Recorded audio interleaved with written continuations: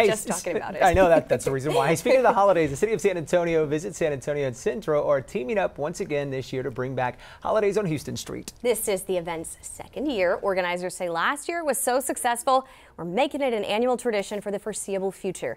This year it will run from November 29th to January 2nd and will include a weekend-long holiday market with local vendors. The city of San Antonio says this is a way to attract locals and tourists to a part of downtown that's undergoing extensive road construction.